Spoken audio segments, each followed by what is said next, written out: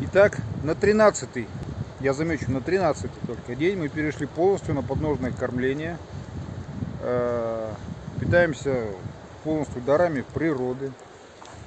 Практически без применения разного рода гадостей.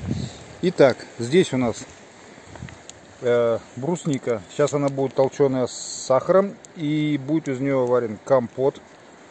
Это у нас хе с лимончиком из свежепойманного линка. Это у нас, где он? Ну где он? А, да. Сейчас у нас будет вот эта вот штука. Это будет гриль. Вот это вот будет на гриль. А это рыба жареная. Он же ленок. Он же вот он.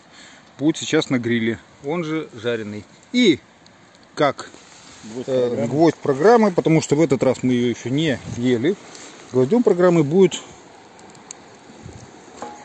уха. Причем не из петуха, а из ленка. Из пяти. Вот. Кипит. Надо выключать газ. Все. Короче.